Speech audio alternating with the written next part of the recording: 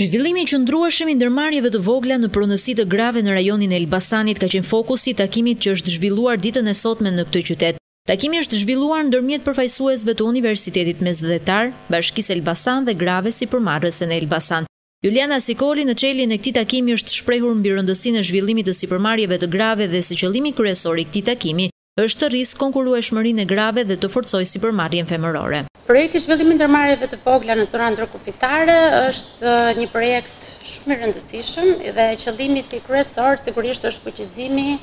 i grave në sipërmarrjet e tyre të vogla të biznesit, sipërmarrjeve të mesme, etj.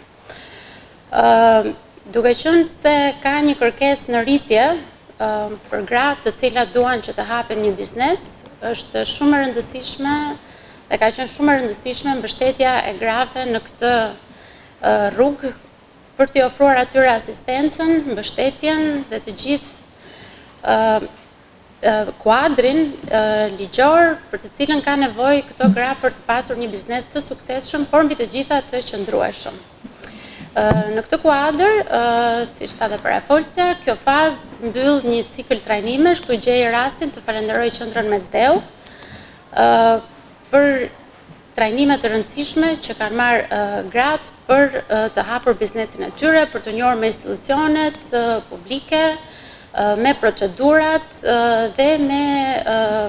ato komponentë, aspekte që e bëjnë biznesin e tyre të qëndrueshëm dhe të suksesshëm.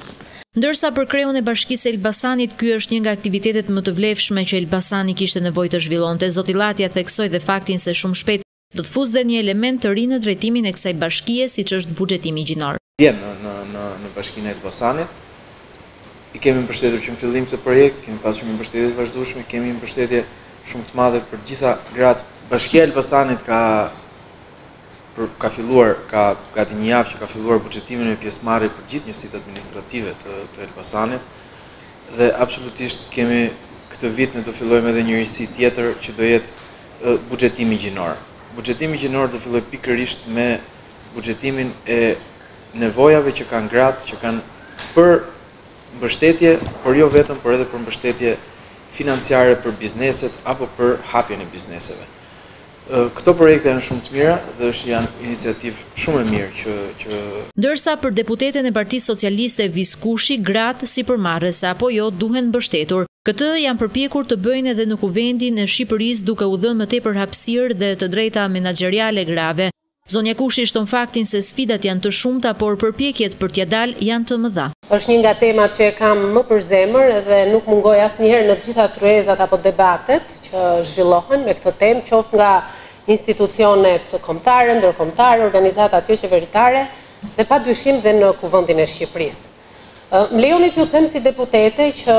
ne në Kuvendin e Shqipërisë që prej vitit dy mijë e trembëdhjetë kemi ngritur Aleancën e Grave Deputete, e cila në funksionet kryesore, në misionin kryesor të saj ka tre objektiva, së pari luftën kundër dhunës ndaj grave,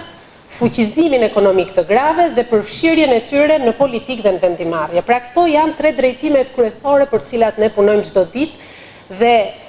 madje jemi krenare që shpesh herë ja kemi dalë që t'i bindim burrat e parlamentit për iniciativa ligjore që janë vërtet në dobi të grave dhe të vajzave. Madje ndoshta nuk ka lidhje me fuqizimin ekonomik, po një nga arritjet tona më të mëdha ka qenë Edhe vendimi që në këshillat bashkiak pesëdhjetë për qind e anëtarëve të jenë gra dhe vajza. Dhe kjo është një nga krenaritë tona më të mëdha që ia kemi dalë edhe pse shumica e burrave në parlament nuk nuk ishin dakord për për këtë vendim. Megjithatë, unë duke qenë dhe e fushës së ekonomisë, mendoj që fuqizimi ekonomik i grave është ndoshta më i rëndësishëm se këto dy të parat, sepse ndikon tek këto dy tjerat. Pra, në qoftë se ne do kemi një grua më të fuqishme ekonomikisht, në qoftë se ne do kemi një grua të pavarur ekonomikisht nga burrat, atëherë padyshim që kjo dhe në familje do të ketë një tjetër autoritet dhe rreziku për të qenë e dhunuar në familje apo edhe më e diskriminuar në shoqëri do jetë më i ulët dhe po ashtu sa më e fuqishme të jetë ajo ekonomikisht, më shumë shanse do të ketë për t'u përfshirë dhe në jetën sociale të vendit. Sipërmarrja forcon rritjen ekonomike të një vendi, prandaj shumica e vendeve, veçanërisht ato në zhvillim si Shqipëria, po përpiqen të krijojnë politika të reja për të mbështetur proceset e sipërmarrjes. Sidoqoftë, ende ekzistojnë shumë pengesa me të cilat përballet sipërmarrësi në këto vende. Projekti Zhvillimi i ndërmarrjeve të vogla për gratë në zonat ndërkufitare, synon të rrisë numrin e grave në këto ndërmarrje. Fakt është që numri i grave në moshë të re me vullnetin e tyre kanë krijuar ndërmarrje të cilat rrisin jo vetëm ekonominë e vendit, por japin asaj dhe një pamje tjetër në sy të ndërkombëtarëve.